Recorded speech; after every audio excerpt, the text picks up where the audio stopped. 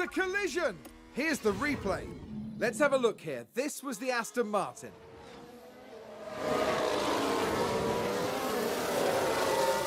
And there's the collision. It's caused absolute carnage.